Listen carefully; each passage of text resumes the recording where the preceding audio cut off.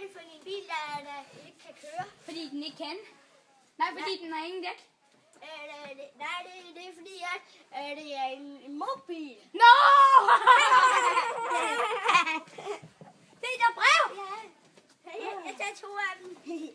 Okay, jeg, jeg, jeg starter. Jeg starter, jeg starter. Jeg starter, jeg starter. Okay.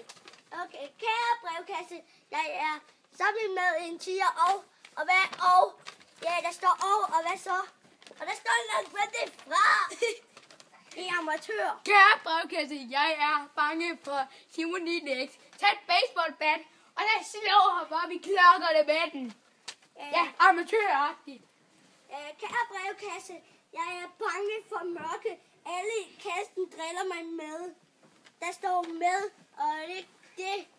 Men kassen, du bare tage et baseballbat. Slå, slå, slå, slå. Den nede i kassen. Ja, Åbner Alexanderne altid super, øh, mælken i supermarkedet? fordi Ulla kommer. Fordi postmand Per kommer. Sådan. Fordi, fordi der står åben her.